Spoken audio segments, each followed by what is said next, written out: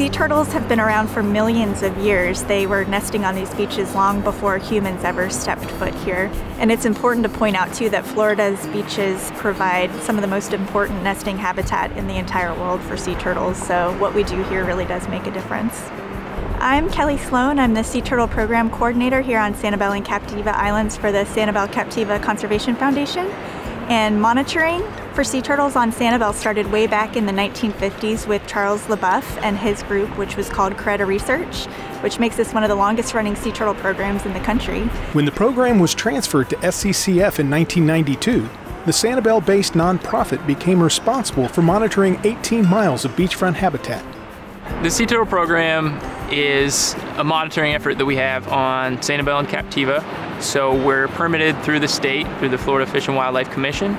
That allows us to perform monitoring activities. So we monitor the sea turtles that come and nest on our beaches. We protect those nests throughout the season. Uh, we inventory them after they hatch. So we see kind of how many eggs were laid and what the success of that nest was, uh, as well as we also do a number of different research projects within the program. During the nesting season, which runs from April 15th through the end of October, the team monitors all of Sanibel and Captiva Islands, setting out just before sunrise. We uh, walk sections of beach uh, or drive beach vehicles, and we're looking for any signs of sea turtle activity from uh, the previous night.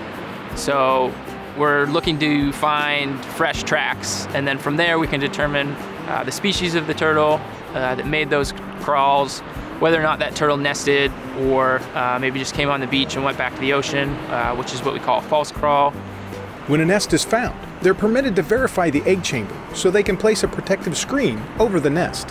We need to uh, know exactly where those eggs are, where the egg chamber is located at, so that we can make sure that that screen is placed uh, perfectly on top. So what that means is reading some of the sign that the turtle is left in the sand, kind of knowing their nesting behavior and the entire process, we're able to determine kind of where those eggs likely are.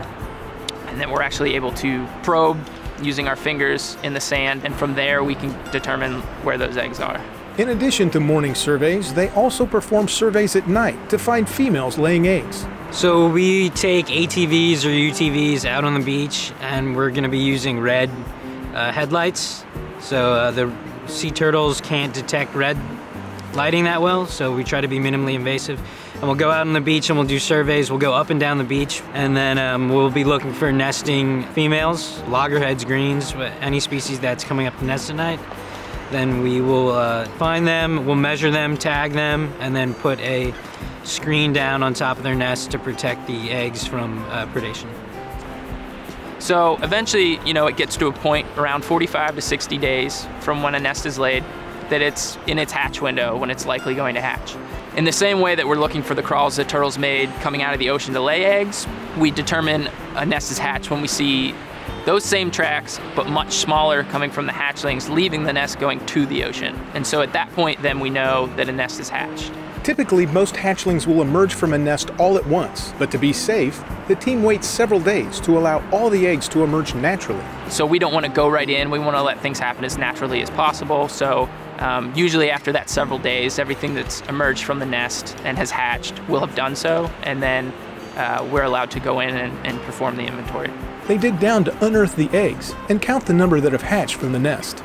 So we're looking at eggs that hatched, eggs that didn't hatch, whether there's still live hatchlings in the nest or maybe dead hatchlings. We're just recording all that information, uh, which gives us our hatch success. So how many hatchlings are being produced on, on our islands.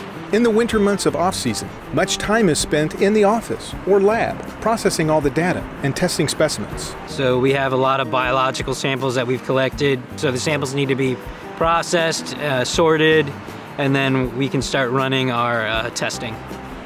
During the 2018 Red Tide event, almost 1,300 sick or dead sea turtles washed up, and that clearly shows the immediate short-term effects of a bloom of that magnitude on sea turtles but it's also important to consider the longer term effects when you're evaluating the threats on an imperiled species like loggerheads. So in 2019 and 2020, we collected blood from every nesting female that we encountered on the beach. And we wanted to see if these seemingly healthy sea turtles um, tested positive for brevetoxin exposure, and if so, determine if it had any negative impacts on their health and reproductive success. The over 100 volunteers play a vital role in the work being done to protect sea turtles.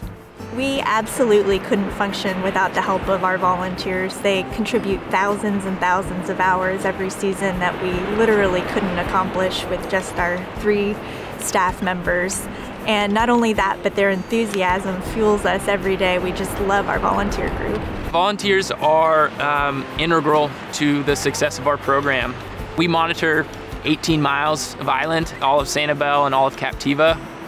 Uh, certainly can't be done by one or, or, a few people. So we've got a dedicated team of, you know, right around 100 volunteers who are walking sections of beach, we're out there monitoring, um, usually with a partner on these beaches, looking for nests, finding them, screening them, performing these inventories. Uh, they're super important.